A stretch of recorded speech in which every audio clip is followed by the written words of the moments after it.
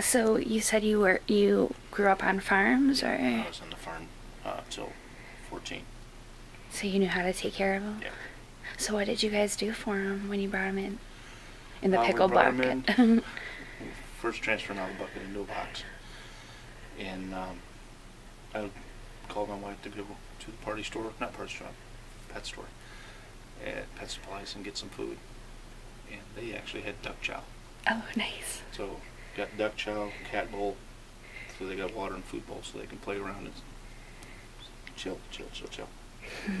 and um,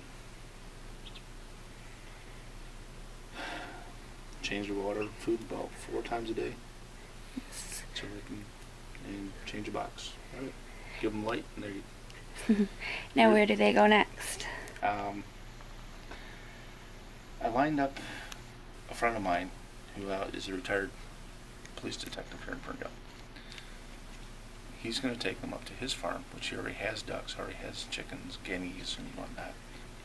And they're his hobby as in retirement. They're nothing for food or nothing. They're just roam his 80 acres. So he's already got adopted parents as soon as he gets there. Oh, nice, nice.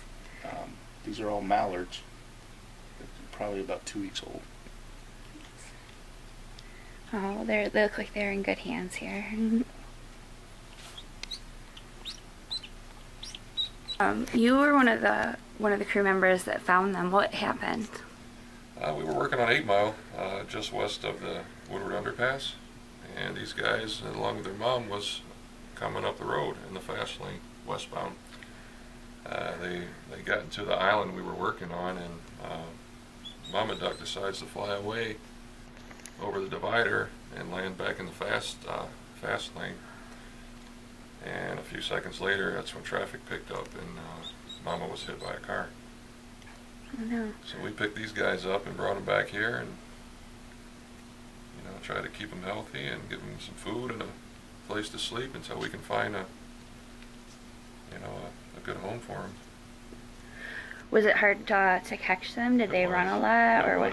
was. It was, they were all over. We were trying to keep them from going back out into the boulevard there and also not get ran over ourselves by trying to save them.